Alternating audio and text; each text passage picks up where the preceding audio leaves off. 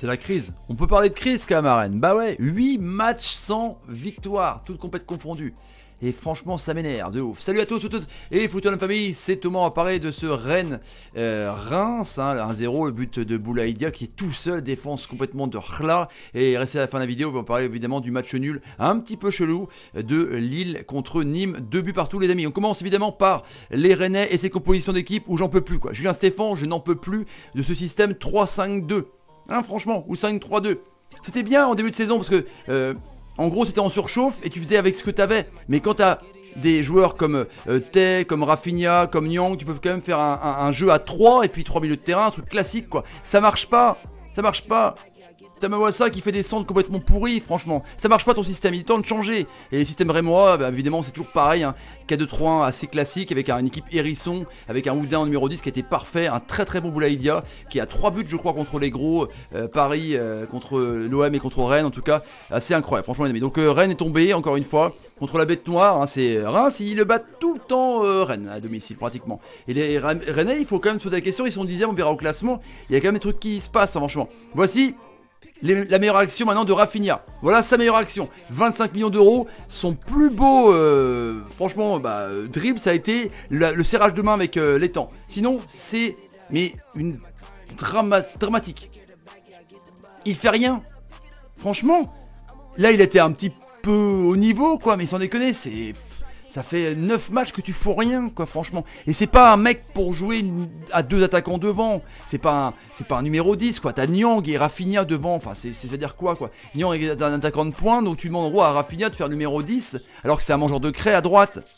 Mais il est bidon dans ce rôle. Et j'ai l'impression que c'est. J'espère que c'est pas un Severino Lucas bis, quoi. Voilà sa meilleure action. Truc de ouf, quoi. Et voici l'arnaque numéro 2.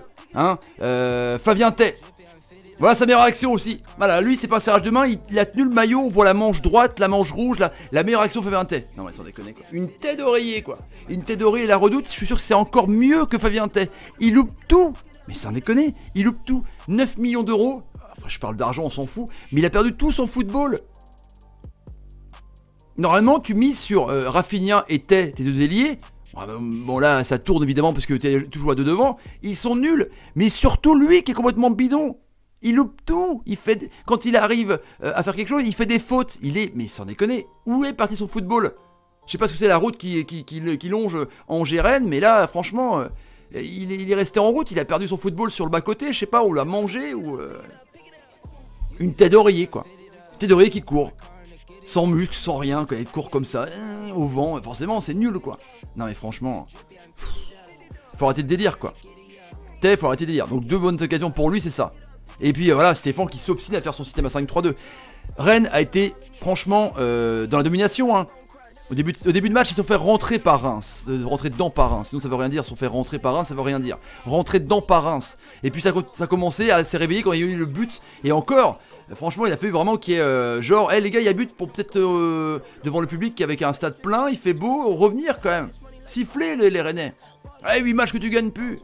Et du coup, ils ont fait deux poteaux, c'est vrai, deux poteaux, voilà. Il y a eu la tête de Bourigeau, il y a eu la frappe de Rafinha, une transversale à un poteau. Ils ont pas eu de Shkumun, c'est clair.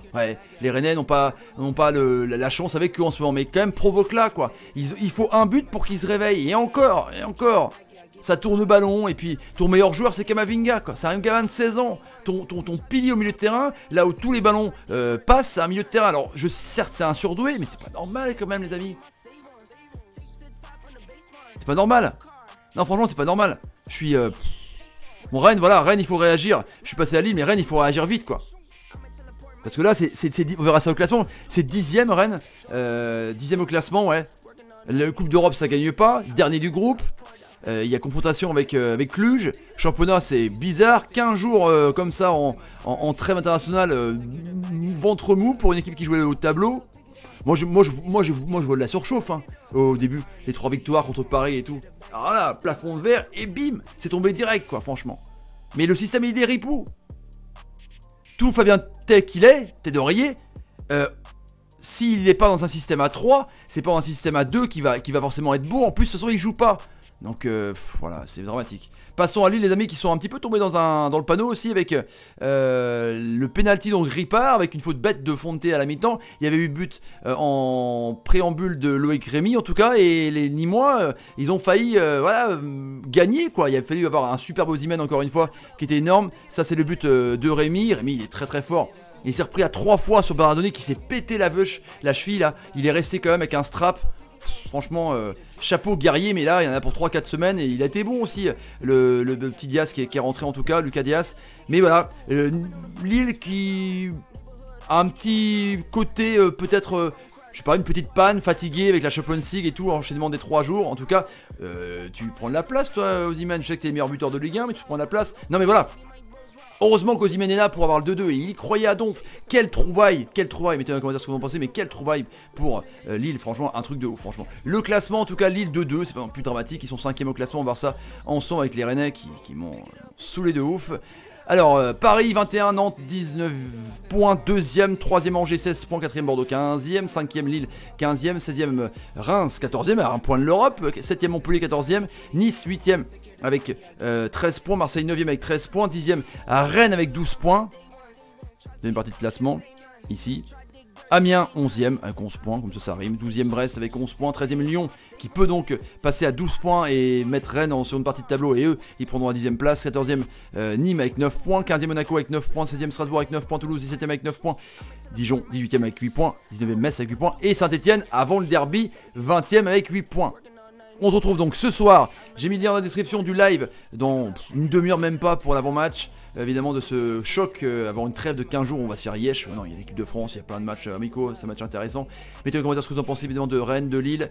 Euh, et mettez un petit pouce pour commencer à travailler sur la chaîne. Partagez la vidéo sur Twitter, Facebook, Instagram et Snapchat. Petite photo, hop, sur Instagram, sur Instagram. Je vous laisse les amis, salut, salut, salut, et salut. je suis énervé. Eh ouais, je suis énervé un petit peu.